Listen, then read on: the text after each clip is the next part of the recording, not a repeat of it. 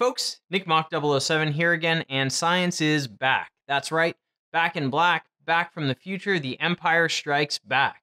And to kick the reunion off, I wanted to talk about something near and dear to my heart air.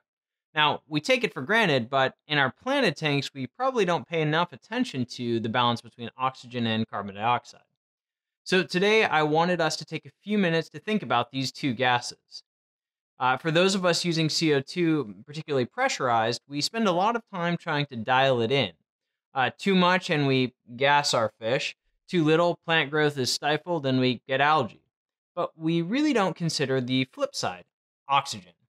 Now, I'm going to assume that none of you are using pressurized oxygen setups, uh, nor would I really advise it unless you have any fish with COPD. Uh, but first, a very, very quick review of how a fish breathes. So, a fish breathes by taking water into its mouth and forcing it out through the gills. Pretty simple. Now, as water passes over the thin walls of the gills, dissolved oxygen moves into the blood and CO2 out. At a, the most simple level, oxygen and carbon dioxide passively diffuse along their concentration gradients, or more correctly put, partial pressures, meaning from areas of high concentration to low concentration. In the gills, CO2 is exchanged for oxygen, just like in the lungs, uh, and then the oxygen rich blood is distributed throughout the body's tissues. Now, interestingly, we all know that high levels of CO2 can be de- deadly to our fish, but oxygen, relatively speaking, is much more toxic than CO2. In our tanks, 500% saturation of carbon dioxide would only be 4 to 10 parts per million.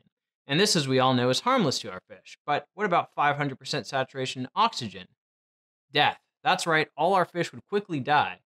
While we know to shoot for 30 parts per million CO2, we ought to be aiming for about 7, 7 to 10 parts per million for the oxygen, especially when we're supplementing with CO2. So remember, oxygen is highly toxic even just around 150% saturation. But now here's the million dollar question, and one that I've heard incorrectly discussed. If you have very high levels of CO2 in your tank, think pressurized CO2, what are your levels of oxygen?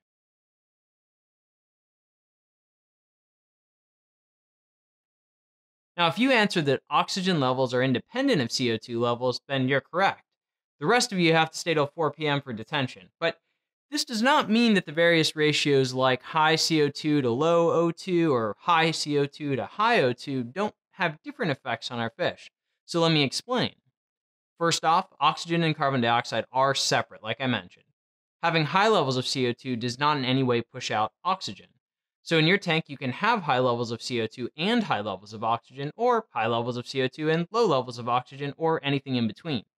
So when you gas your fish from too much CO2, this doesn't tell you anything about your oxygen levels. Now, in order to save your fish in this kind of situation, you need to remove the CO2. People accomplish this by increasing surface movement and water changes.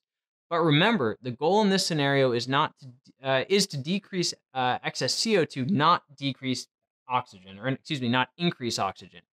But here's where it gets a little bit complicated. Remember how I told you that oxygen and carbon dioxide passively diffuse along their concentration gradients? Well, if respiration was just this simple, then you would hypothesize that raising CO2 levels high enough would make it impossible for fish to get rid of CO2 in the blood, therefore resulting in acidosis, which, if bad enough, will kill the fish. And you would also hypothesize that um, that it would occur regardless of the oxygen levels, which we now know is independent of the carbon dioxide levels. Well, true, excessive CO2 will kill your fish, but it turns out that increasing oxygen levels can actually allow you to push your CO2 to higher levels. Now, there haven't been many studies done on this, and most around fish we don't really keep in our aquariums, like carp and trout. But the point is that the data shows that with higher levels of oxygen, fish can actually tolerate higher levels of CO2 though I haven't been able to find a really good explanation for why this is the case. But the point I want everyone to take away from the discussion today is that while levels of CO2 and oxygen are independent, their ratios in our tank can have vastly different effects on our livestock. So, for those of us growing plants, we need to aim for high CO2, 30 to 45 parts per million, and high oxygen, probably 7 to 10 parts per million. So, in summary, when talking about our fish and forgetting about plants for a minute, too much, ox- too much oxygen is bad, too little oxygen is bad, too much CO2 is bad, but too little CO2 is actually okay. But put all these facts together, and for those of us who use pressurized CO2, what I would suggest for a healthy planted tank is to have enough surface movement to just barely not break the surface of the water, but to keep a strong ripple going.